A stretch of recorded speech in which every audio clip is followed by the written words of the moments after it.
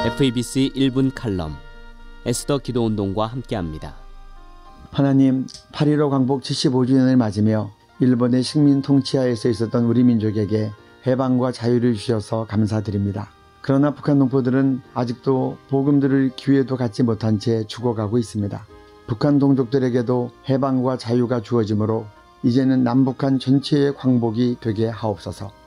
여호와께서 시온의 포로를 돌려보내실 때 우리는 꿈꾸는 것 같았도다. 그때 우리 입에는 웃음이 가득하고 우리 혀에는 찬양이 찼었도다. 시편 126편 말씀. 주님, 유대인들이 70년 만에 바벨론 포로 기간을 끝내고 고국으로 돌아온 것처럼 북한 동포들도 3대 세습 독재와 김일성일가 우상화 신격화 체조로부터 벗어나게 하시고 생명과 자유와 인권이 회복되게 하옵소서. 주님, 우리에게도 꿈꾸는 것 같은 복음 통일 허락해 주옵소서. 북한 동포들의 영육 구원을 위해 한국교회와 해외 교포교회와 세계교회가 함께 마음을 모아 지져 기도하게 하시고 복음 통일 속히 이루어 주옵소서.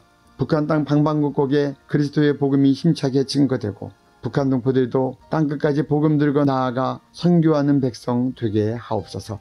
예수님의 이름으로 기도드립니다. 아멘. FEBC 1분 칼럼 에스더 기도운동과 함께했습니다.